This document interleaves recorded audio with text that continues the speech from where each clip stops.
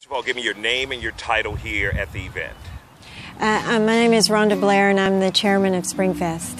Now, Rhonda, tell us what we have going on here. Obviously, you guys are excited. Yes, and sir. is this the first time you've done it? Uh, no, this is actually our 16th year. Uh, this is our first year to incorporate craft breweries with our Texas wineries, and we also incorporated some California and in- international wineries as well. We've added the music, as you can hear in the background, and it has been an awesome time this year. How have people enjoyed it? What are, what are the compliments from the public so far? They're loving it. They're loving it. They're loving the fact that they can have a little wine or they can have a little beer. Um, just the mood setting. It's a very relaxed setting, and they're they're really complimenting us on this year's event. And what's the ultimate goal for the event? Is it to raise money for a specific reason or what?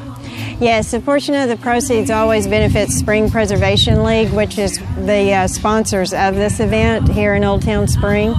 So the benefits it helps us to take care of our park and our town and Anything else you want to add or say that I, I haven't added? we just hope everybody comes out today. We're here till 5 and want everybody to have a good time.